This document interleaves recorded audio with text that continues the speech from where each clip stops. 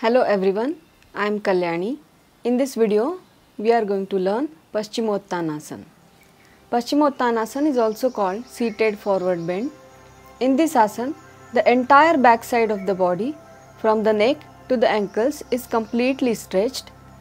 Also, the front side is completely compressed. Spine is elongated and back muscles become flexible. Stomach is completely pressed so abdominal fat reduces. It will also help to stimulate endocrine glands, liver, kidneys and pancreas. It will help to improve digestion and to cure diabetes. Precautions People suffering from cervical spondylitis should avoid this asana. Also, people suffering from any other spine related issues or heart problems must do this asana under the expert's guidance. So, let us start doing Paschimottanasana.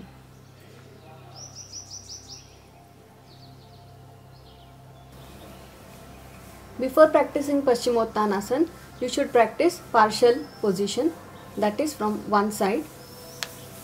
So, bend your left leg, keep your right leg straight, hold your right toe with your left hand, encircle your waist with the right hand and slowly while exhaling try to bend forward as much as possible. While inhaling slowly release. From the right side bend your right leg. Place your right sole near the left inner thigh. Hold your left toe with your right hand. Encircle your waist with the left hand while exhaling bend forward. Try to take your forehead close to your knee. Keep your legs straight. While inhaling, slowly raise your head and upper body and release.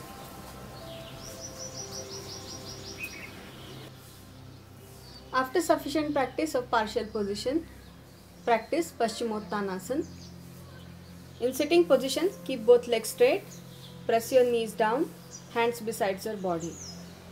Slowly inhaling, raise both the hands. Exhaling, bend forward. Grab your toes. If you cannot grab your toes, try to hold your ankles. Exhale and bend further. Bend both the elbows and take your forehead towards your knees. Keep your legs straight and press your knees down. While inhaling, slowly raise your head and upper body. And exhale, release both the hands besides your body. Hope this video was helpful. Thank you.